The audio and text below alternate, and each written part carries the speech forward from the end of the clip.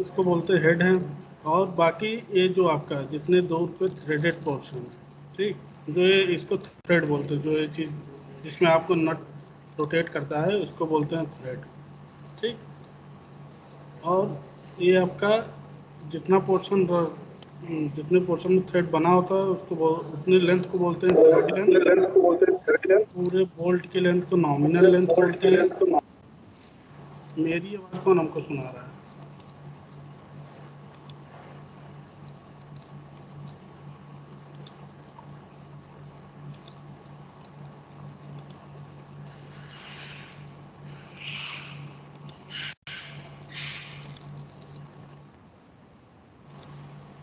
ठीक है? ये जो रेडियस की बात करें कि रेडियस क्या होता है बोल्ट का तो जो बोल्ट का डायमीटर जो डायमीटर होगा, उसको बोलते हैं रेडियस ऑफ़ बोल्ट ठीक है?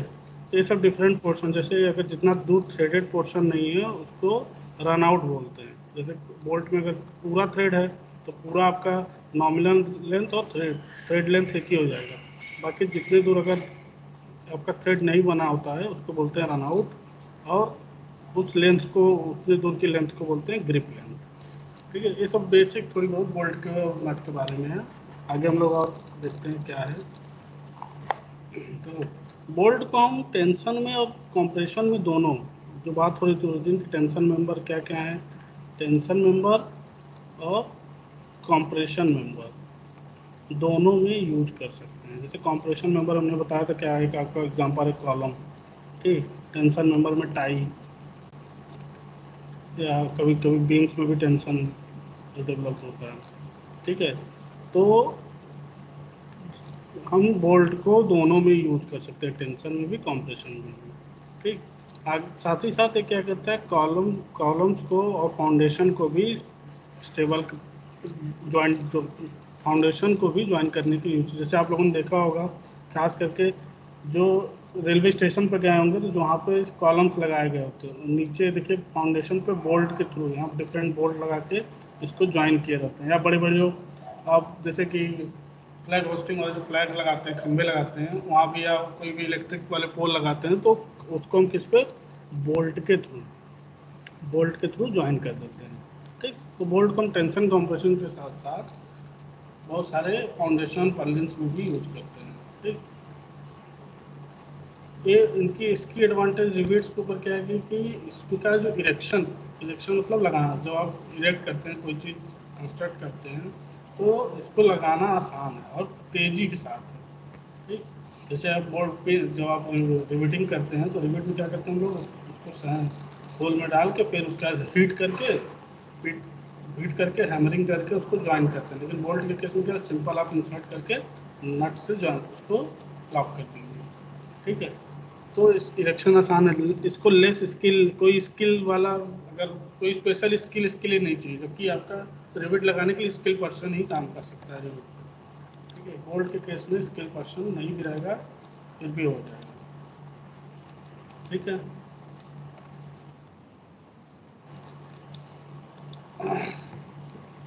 ओवरऑल कॉस्ट जो बोल्ट का कॉस्ट भी है वो भी कम होता है as compare to different method क्योंकि स्किल लेबर भी लेबर प्रॉब्लम सारी कॉस्ट का जोड़ दो तो बोल्टेड कनेक्शन करने में हमको कम खर्च आता है as compare to other methods ठीक है? कुछ प्रॉब्लम्स भी हैं, जैसे कि जो इसकी बोल्ट की कास्ट है, वो आपको थ्रेड थ्रेड थ्रेड बनाते हैं आप, और भी चीज़ बनाते हैं। उस चीज़ में रिवेट के कंपेरिजन में उसको कंस्ट्रक्शन कॉस्ट खुल के भी ज़्यादा हो जाती है। ठीक? साथ ही साथ टेंसाइल स्ट्रेंथ। कोई ऐसा मेंबर है, टेंशन में मान लो ये आप ये, इस मेंबर को आपको कनेक्ट करना है और फोर्स इस डायरेक्शन में लग रहा है। दोनों एक इस मेंबर को आप कनेक्ट कर रहे हैं। ठीक? तो आप क्या कर रहे हैं? सिंपल इसको बोल्टिंग करके कनेक्ट कर दिए होंगे। ठीक? तो टेंशन के केस में ये आपका एज कंपेयर टू रिविट या अदर मेथड एक कम स्ट्रेंथ देता है। क्यों देता है? क्योंकि आपका जो बोल्ट और नट बोल्ट का कनेक्शन वो लूज हो जाते हैं। ठीक है? वो आपका लूज हो जाते हैं। जबकि जो आपके रिविट है, उसमें ऐसा प्रॉब्लम जल्दी नहीं आने पाती है। या और कोई मेथड नहीं। देखो, यहाँ लिखा हुआ normally strength reduction will be there for loose fit bolt एक बोल्ट में get loose when subjected to vibration साथ में अगर कोई ऐसी जगह बोल्ट लगाएँ, जहाँ वाइब्रेशन जनरेट होता हो, ऐसे सेक्शन पे लगाएँ, जहाँ वाइब्रेशन जनरेट होता हो, ठीक तो वहाँ पे बोल्ट आपके लूज कर जाते हैं। तो यहाँ बोल्ट इसके लिए सही नहीं रहेगा ऐसे मेंबर में, जहाँ पे कंटिन्यूस वाइब्रेशन जनरेट हो रहा है। ठीक।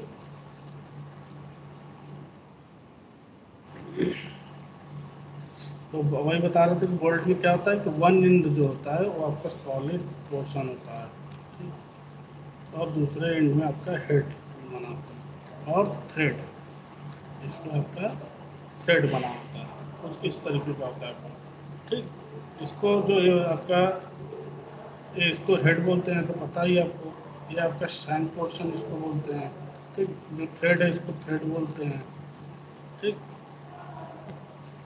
अब बात आती है कि बोल्ट की जो हमारा है साइज़ ऑफ़ बोल्ट में किसकी बात करते हैं? ठीक तो साइज़ ऑफ़ बोल्ट को हम डायमीटर ऑफ़ बोल्ट से मेजर करते हैं। कितनी डायमीटर है बोल्ट जैसे अगर बोल दें मार्केट से जाइए बोल्ट लेके आइए ठीक तो मार्केट में बहुत सारे साइज़ के बोल्ट हैं। आपको जैसे हम लोग बात की थी पहले अगर आप सिविल इंजीनियर सीमेंट लेने मार्केट में जाएँगे तो आपको सीमेंट की ग्रेड या आपको प्रॉपर्टीज़ पता होनी चाहिए कि इस टाइप के हमको सीमेंट चाहिए। इसी तरीके से अगर मार्केट में बोल्ट लेने जा रहे हैं ठीक? तो पहले तो आपको ये पता चलना चाहिए बोल्ट किस बोल्ट जाके बोल दो कि बोल्ट हमको चाहिए जो 400 किलो न्यूटन लोड बियर करे, ठीक? ऐसा तो बोलेंगे नहीं। तो बोल्ट कैसे मिलता है? साइज़ के बेसिस पे मार्केट में साइज़ ठीक? साइज़ के साथ साइज़ के साथ ही एक वर्ड और होता है स्ट्रेंथ जो ये चार सौ किलो न्यूटन की बात कर रहे हैं कि इतने लोड को बियर करने वाला भी बोल्ट चाहिए तो साइज़ के साथ साथ हमको स्ट्रेंथ को भी बता सकते हैं मार्केट में। ठीक, कैसे बताते हैं? आगे भी देखते हैं। ठीक। कुछ एडवांटेजेस डिसएडवांटेजेस क्या है? एडवांटेज आपका no risk of fire during connection ठीक, कोई फायर का रिस्क नहीं है। फास्ट होता है कनेक्शन स्किल लेबर की ज़रूरत नहीं है। नॉइज़ आपका रिड्यूस होता है, जबकि as compare to other method जैसे आपका रिविटिंग के केस में नॉइज़ क्योंकि आप हैमरिंग करते हैं तो नॉइज़ रिविटिंग के केस में ज़्यादा होता है। ठीक? उस केस में स्किल लेबर आपको चाहिए। साथ ही साथ टाइम टाइम भी ज़्यादा लेता है। और जब फायर के केस में आपकी स्ट्रेंथ थोड़ी सी मटेरियल की लूज भी हो सकती है, जब आप जहाँ पर हीट करके आप ज्वाइनिंग कर रहे हैं। और इसका डिसएडवांटेज क्या है? जैसे अभी हमने बताया ना वाइब्रेशंस में। वाइब्रेशन में आपका क्या हो जाता है? लूज या टेंशन के केस में जहाँ टेंशन जनरेट हो तो बोल्ट आपके लूज हो जाते हैं, जिसके कारण ये कनेक्शन सक्सेस नहीं रहता बोल्टेड कनेक्शन जैसे फिगर है यहाँ पे, देख रहे हैं बोल्टेड कनेक्शन यहाँ पे एक प्लेट लगा है, ठीक? इसको हमको इस प्लेट से कनेक्ट देख रहे हैं ना, इससे करना है। तो हम क्या कर रहे हैं, इस पर सेक्शन लगा के यहाँ पे इसको यहाँ पर वेल्ड किया हुआ ठीक? यहाँ पे देखिए, यहाँ जब देखेंगे तो इस नंबर में यहाँ पे प्लेट लगा के इसको इससे ज्वाइन यहाँ पे डिफरेंट बोर्ड लगा के ज्वाइन करते हैं इसी तरीके से इसको भी यहाँ से ज्वाइन कर देंगे। तो ये आपका एक तरीके से वोल्टेज कनेक्शन का फिगर यहाँ पे है। अब जो बात हो रही थी कि बोल्ट किस, कैसे हम मार्केट में जाके लेंगे। तो बोल्ट के जो मेनली तीन तरीके बोल्ट तीन तरीके के मार्केट में अवेलेबल ठीक थ्री टाइप्स कौन कौन से थ्री टाइप्स हैं? ब्लैक बोल्ट दूसरा turn and fitted float bolt तीसरा है high strength H S F G high strength friction grip ठीक है? तो तीन तरीके के बोल्ट मार्केट में मेनली आपके जो अवेलेबल होते हैं वो ब्लैक बोल्ट और हाई स्ट्रेंथ वाले दो ही आजकल मार्केट में चल दो में भी मैं सबसे इम्पोर्टेंट जो है H S F G bolt H S F G तो क्या बोलते हैं? High strength friction grip high strength friction grip bolt Delhi market में जो सिम यूज़ रहा है, वो आपका high strength friction bolt use पढ़ लेते हैं। होता क्या क्या है?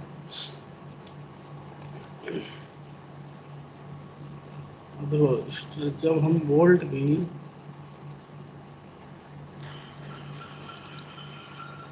जैसे यही अभी आप लोगों ने हम बोले कंक्रीट की ग्रेड तो कंक्रीट में आप लोगों ने ग्रेड बताई एम ट्वेंटी एम थर्टी इस तरीके से ग्रेड होती है। ऐसे ही बोल्ट की भी हम, बोल्ट को भी, बोल्ट की भी ग्रेड को डेजिग्नेट जब करते हैं, डेजिग्नेशन देते हैं तो ऐसे लिखते हैं, grade, bolt of grade X into Y, ठीक? इसका मतलब क्या है? एक्स क्या जैसे अगर हम बात करें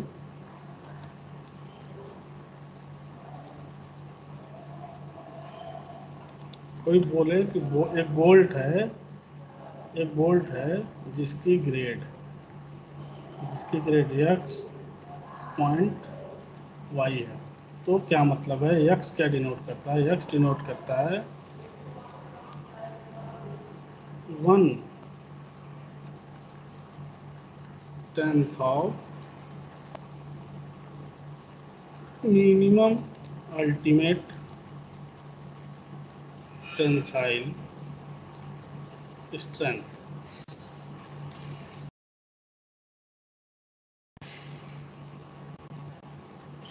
Kilogram force per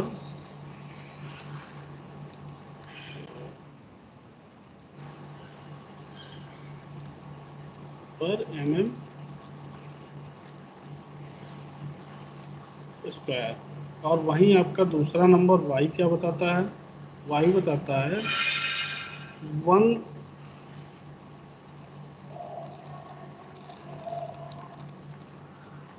one tenth of yield stress to ultimate stress. Ultimate stress, ठीक है? जैसे अगर हम बात करें कि आपका एक बोल्ट है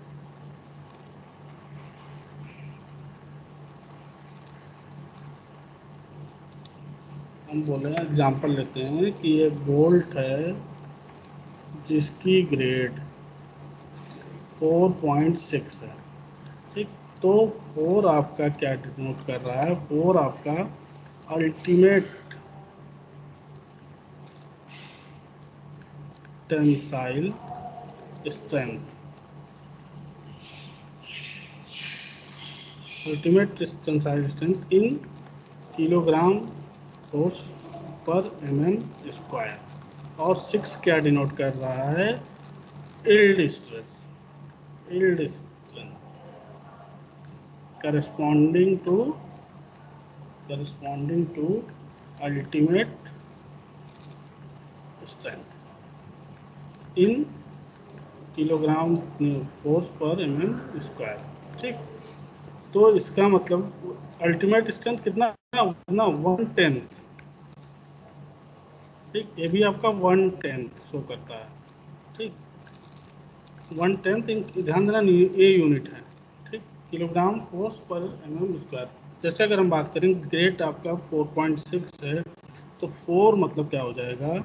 वन टेंथ तो यानी 40 kilogram force per M M square इसका क्या है? इल्ड है। सॉरी अल्टीमेट स्ट्रेस है, ठीक है। और सिक्स क्या डिनोट कर रहा है? कि इसके अल्टीमेट के करस्पॉन्डिंग इल्ड स्ट्रेंथ यानी six zero point six into point six into forty कितना आ जाएगा? Twenty four kilogram force per M square ये आपका कितना है?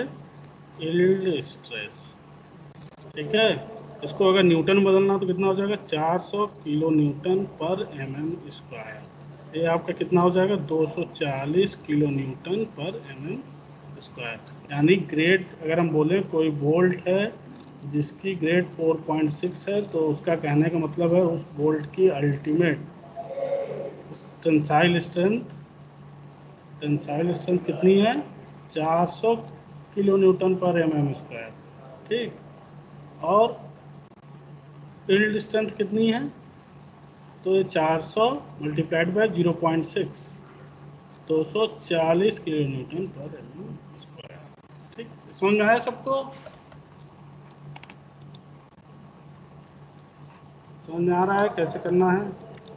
सर अल्टीमेट टेंसाइल स्ट्रेंथ नहीं समझ में आया सर हेलो सर वो वन टेंथ कैसे आया? मतलब समझ नहीं आया वो।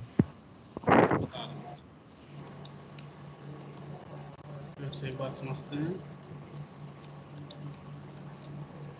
तो एक बार फिर से करते हैं, ठीक है? कि जो आपका बोल्ट को जब हम डेजिग्नेट करते हैं तो डेजिग्नेशन है बोल्ट की।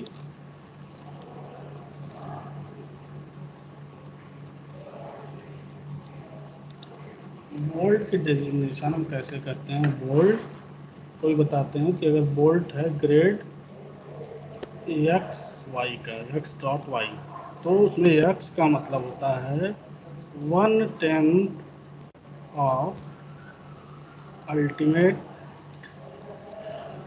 tensile strength. X का मतलब ये होता है in kilogram force per M M square. ठीक? वाई का मतलब क्या होता है? यही होता है one tenth of yield strength corresponding to, corresponding की बात हो रही है, टू अल्टीमेट स्ट्रेंथ। ठीक मतलब अगर हम बात करें कि एक बोल्ट है जिसकी ग्रेड 4.6 है तो फोर का क्या हो जाएगा? उस बोल्ट की, इसका मतलब कहने का है कि बोल्ट है, जो बोल्ट है उसका अल्टीमेट स्ट्रेंथ। अल्टीमेट स्ट्रेंथ ठीक वो है वन टेंथ ऑफ़ तो वन टेंथ फोर है तो कितना स्ट्रेंथ होगा? फोर्टी ना? दस गुना इससे। तो अल्टीमेट स्ट्रेंथ कितना? Forty kilo force per yes, या 400 मेगा पास्कल ये भी लिख सकते हो। या किलो न्यूटन पर जिसमें आपको न्यूट कन्वर्जन जो आपको आसान लगे ठीक? दूसरा है ultimate yield strength yield distance क्या है? करस्पॉन्डिंग इसके तो zero point six multiplied by इतना आपका अल्टीमेट आया है। तो हो जाएगा twenty four kilogram per M M square या दो सौ चालीस मेगा पास क्लियर है? यस सर क्लियर हो गया। तो ना बोल्ट की डेजिग्नेशन कैसे की जाती है?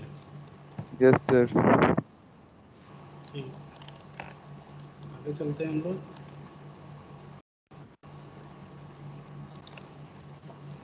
एक बोल्ट को जो डेजिग्नेट किया था, इस तरीके से किया जाता है। अब आगे हम लोग बोल्ट, तीन बोल्ट के बारे में पढ़ देते हैं। तो बोल्ट, देखिए लिखा है black bolt are unfinished and made up of mild steel and usually of grade 4.6 ठीक है? Bolt have adequate strength ductility when use properly but will tightening with nut snap tight it define that tightness that is will help files will disturb the too much ठीक?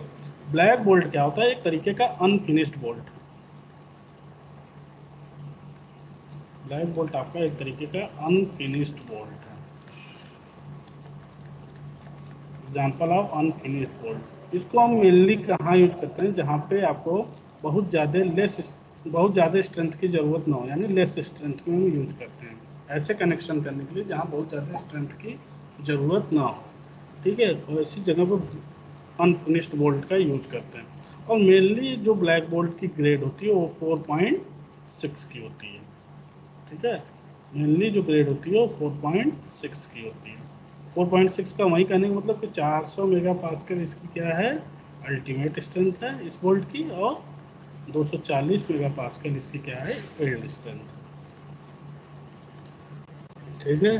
मतलब 400 240 का yield देता है 400 ज़्यादा लगाओ तो क्रैक कर जाएगी। ठीक तो वही चीज़ लिखा हुआ है, इसको हम ऐसी जगह नहीं करते हैं जहाँ पे आपका ये आपका अनफिनिश टाइप का बोल्ट है, ठीक, जहाँ ऐसी जगह यूज़ करते हैं जहाँ लेस स्ट्रेंथ हमको रिक्वायर होती है।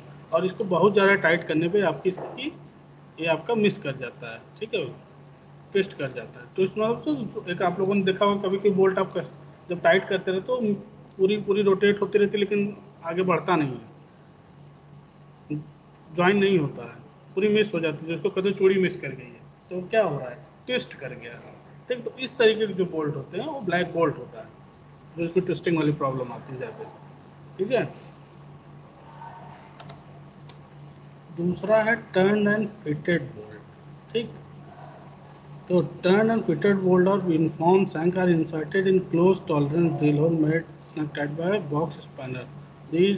Diameter of hole is about 1.2 to larger than the hole diameter for is fitting high strength bolt may also be used in connection with the tightening bearing type ठीक कह रहा है कि जो turn and fitted bolt होते हैं वो आपका कभी एक एक वर्ड स्पाइनर्स देखा है आप लोगों ने स्पाइनर्स स्पाइनर्स देखा है कोई देखा है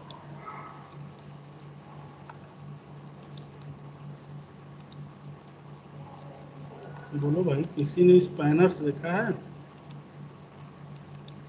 यस सर जैसे बोल्ट कसते हैं ना सर हाँ Sorry. एक तो आपकी एक तो आप जिसको बोलते हैं रेंस ठीक है जो रेंस होता है।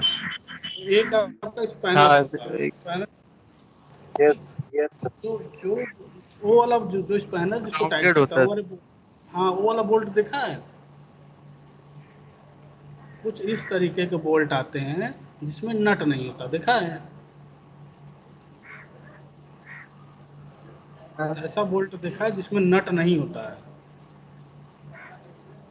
तो स्क्रू से सर उसको कर सकते नहीं नहीं स्क्रू मतलब नट। नहीं नहीं मतलब सर स्क्रू से उसको कहते हैं टाइट करते हैं। नहीं आपके मेंबर में ही उसके थ्रेड जैसे आपको मान लीजिए हमको एक इस प्लेट पे तो इसके अंदर ही हम थ्रेडेड रहता है और ऊपर से हम ला के इसमें इंसर्ट कर देते हैं। ठीक तो इस तरीके के बोल्ट को बोलते Yes, हैं. बोल्ट लगाना टर्न एंड फिटेड बोल्ट। इसमें नट नहीं लगा होता है। कि इस तरफ़ निकल के आएगा तो हम टर्न करेंगे इधर से बोल्ट नट लगाएँगे। ये नहीं होता सिर्फ़ बोल्ट ही होता है। तो इस तरीके के बोल्ट को बोलते हैं टर्न एंड फिटेड बोल्ट। इसीलिए इस पे स्पाइनर्स यूज़ होते हैं। ठीक है? कि नट आपको इसमें नट तो है ही नहीं तो नट क्या खोलोगे? जो आपका हेड वाला सेक्शन है ठीक उसी को हम स्पैनर की हेल्प से ओपन करते हैं। तो टर्न एंड फिटेड बोल्ट समझ में आया कौन सा वाला बोल्ट की बात कर रहे हैं?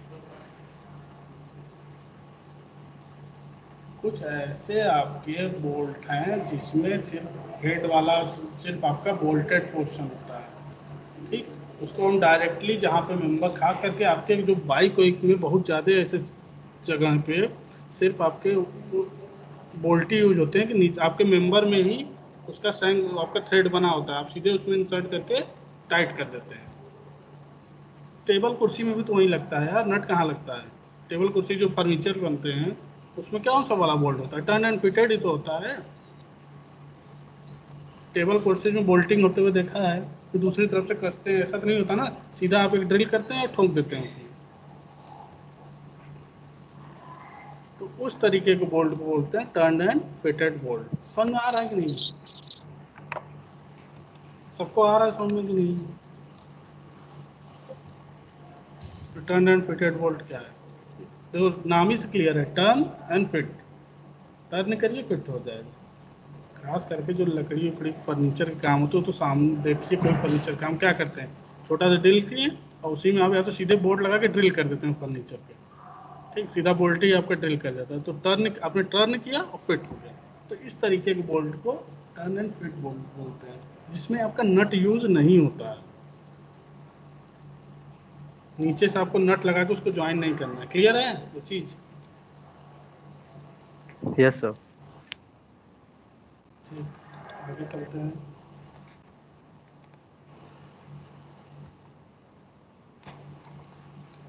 ये देखो स्पैनर्स की जो बात कर रहे थे फ़ोटो एक आपका बेंच है।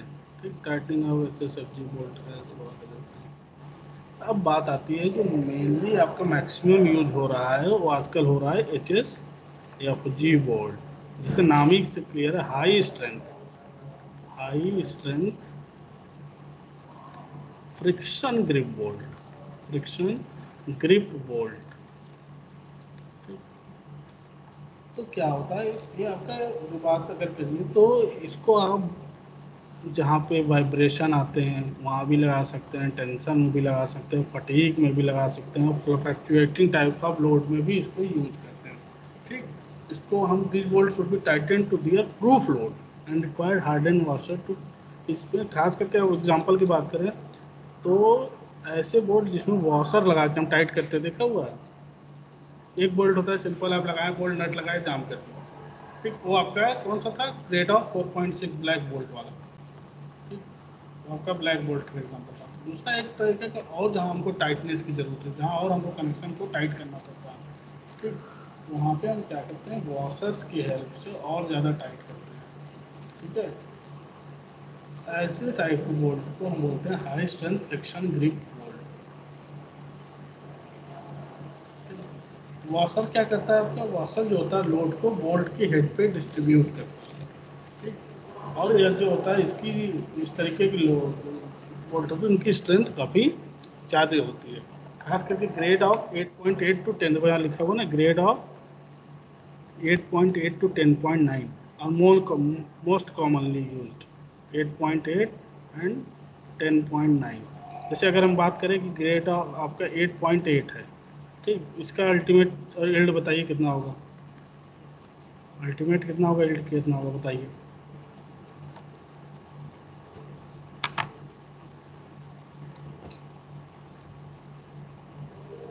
बताएगा ग्रेड एट अगर हम बोल रहे एक बोल्ट है अच्छे सेफ्टी बोल्ट है जिसका ग्रेड एट पॉइंट एट है तो उसका अल्टीमेट और ये डिस्टेंस कितना होगा? Sir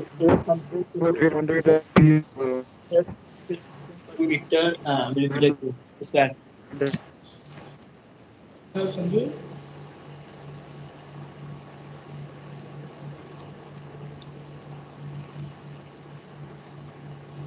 Ankit तुम बोलो अंकित टंडन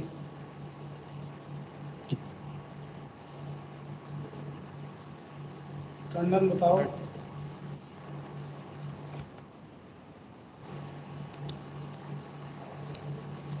ग्रेड अगर 8.8 है तो उसका मतलब है कि इस बोल्ट का स्ट्रेंथ 800 मेगा पास्कल। ठीक, या 80 किलोग्राम फोर्स ये ये अल्टीमेट है इतना इल्ड कितना हो जाएगा इल्ड बताओ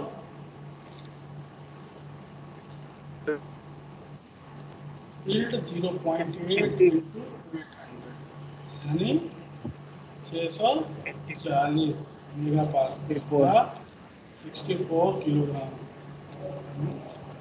ठीक तो ग्रेड का मतलब क्या है समझ में आ रहा है तो जो आपका एच एस जी बोल्ट है उसमें मेनली जो होते हैं eight point eight and ten point nine तक वाले। ठीक? ऐसे ये बात तो टेन पॉइंट नाइन का मतलब क्या है? तो टेन का मतलब है कि इसका जो स्ट्रेंथ है, वो हंड्रेड किलोग्राम फोर्स या one thousand mega pascal and nine hundred इसके नाइन हंड्रेड मेगा पास्कल इसका air distance nine zero point nine का तो कुछ क्या नाइन हंड्रेड आता है ठीक? ये एच वाले में मेनली दो ही तरीके ठीक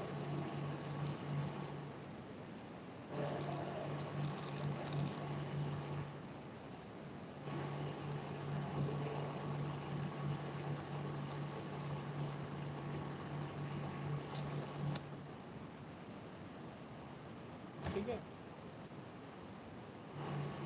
अब बात आती है कि जब भी हमको बोल्ट, जहाँ पे हम बोल्टिंग करते हैं तो हमको बोल्ट किसी हम बोल्ट को होल में इंसर्ट करके करते हैं। तो उसकी डायमीटर कैसी है? तो जैसे फिगर में दिखा रहे स्टैंडर्ड कब होगा। स्टैंडर्ड तो मान लीजिए आपका बोल्ट होल है। ये आपका होल है, यहाँ पे देखिए, ये बोल्ट होल है, पूरा।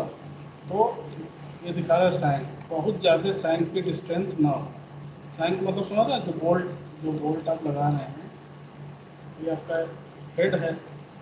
हेड के बाद ये आपका ये जो पोर्शन है इसको ये जो पोर्शन है इसको बोलते हैं साइन ठीक तो साइन की डायमीटर से बहुत ज़्यादा नहीं होना चाहिए। ठीक, लगभग साइन की डायमीटर अभी हम न्यूमेरिकल बात करेंगे तो कितना साइज़ रखते हैं साइन से, वो भी क्लियर हो जाएगा।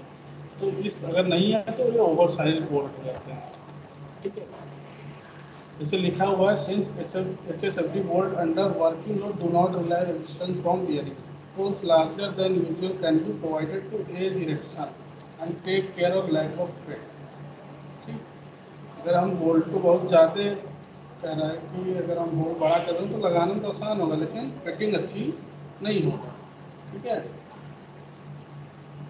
जो हमारा अब बात आती है कि कितना होल के क्या साइज़ रखते हैं, ठीक? वो डिपेंड करता है कि होल की जो साइज़ होती है होल की जो साइज़ है, वो डिपेंड करती है डिपेंड करती है diameter of bolt diameter of bolt या सैंक की सैंक के डायमीटर पे डिपेंड करती है। और इसको इस बारे में जो जानकारी दी गई है, वो I S code eight hundred two thousand seven के क्लॉज टेन पॉइंट टू में। दिया गया है कि कितना हमको बोल्ट की कितनी डायमीटर हम जब न्यूमेरिकल कराएँगे तो उसको बताएँगे। अभी फ़िलहाल इतना ध्यान को क्लॉज टेन पॉइंट टू में दिया गया है। इसके बारे में कितनी हमको डायरेक्टर लेनी है। ठीक है? थोड़ा बहुत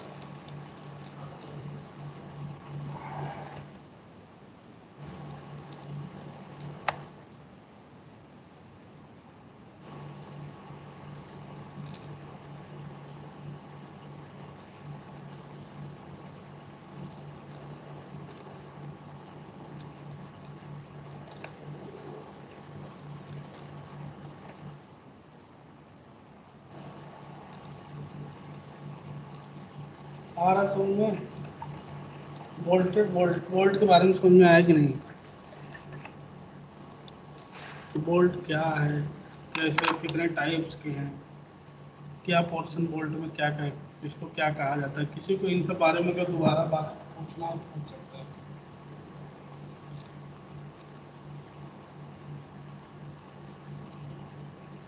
अगर और भी जानकारी चाहता है कि कितना अभी बताए हैं तो पूछ सकता है।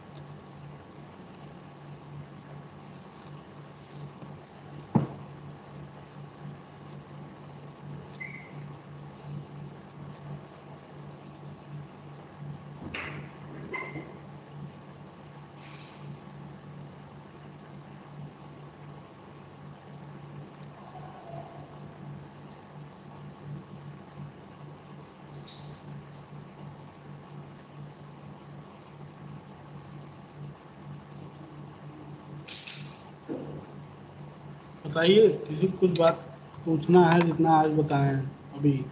कि बोल्ट कितने टाइप के हैं? बोल्ट में कौन सी, इतनी चीज़ें क्लियर है, बोल्ट में किस पोर्शन को क्या कहते हैं? ठीक होल की डायमीटर बोल्ट की डायमीटर कैसे कितनी बड़ी होती है?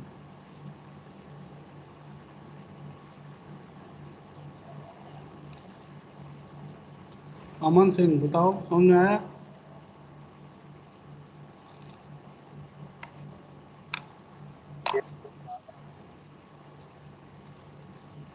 जो जो नहीं बोलेगा सबका नाम हम ले रहे हैं। जो जो नहीं बोलेगा उसकी अटेंडेंस कटी पक्का अब। ठीक पहले हम एक एक लोग का नाम ले रहे हैं। जिसका नाम ले वही बोलेगा। अमन सिंह।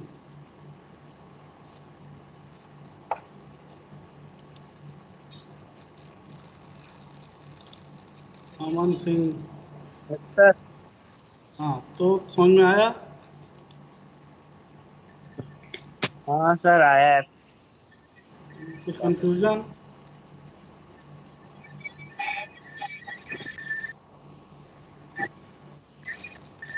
चलिए ठीक अमित यादव। अमित यादव। यस सर अच्छा चलो कुछ कंफ्यूजन नो सर समझ आया ठीक और बताएँ। कंदन आशुतोष तो तेईस सौ आशुतोष शुक्ला भी है। आयुष? यस सर आ रहा है। समझ में यस सर आ रहा है। दीपक। यस सर समझ में आ रहा है। यस सर ज्ञानचंद हाँ। यस सर हाँ में आ रहा है ना? हाँ हाँ आ रहा है सर मुदस्सिर शोएब हाँ सर आ रहा है समझ में यूसुफ।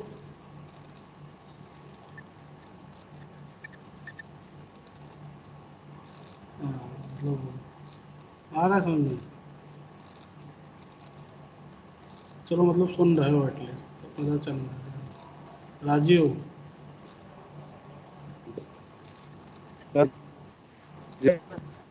राजीव राजीव। हाँ आवाज़ आ रही है हम समझ गए तो तो हमारी आवाज़ जा रही नहीं होगा। राजीव।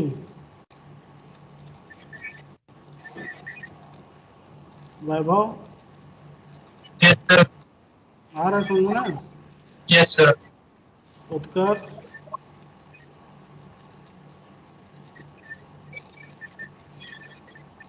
संजीव।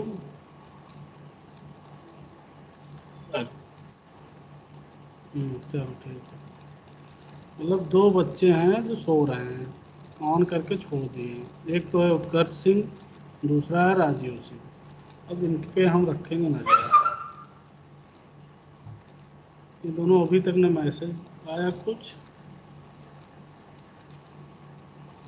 दूसरा उत्कर्ष ये लोग चालू करके प्रोग्राम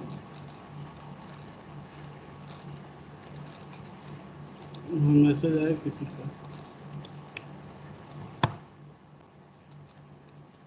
हाँ तो तुम्हारी पता है। देखो, ये लोग का अभी तक कुछ रिस्पॉन्स नहीं है।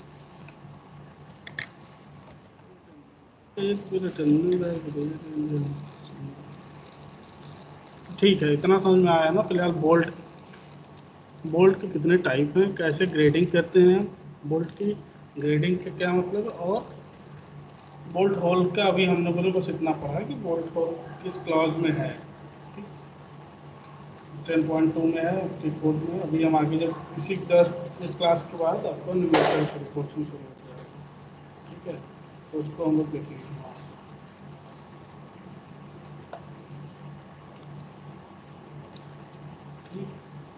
और कोई कुछ क्वेश्चन पूछना चाहता है तो पूछ सकता है।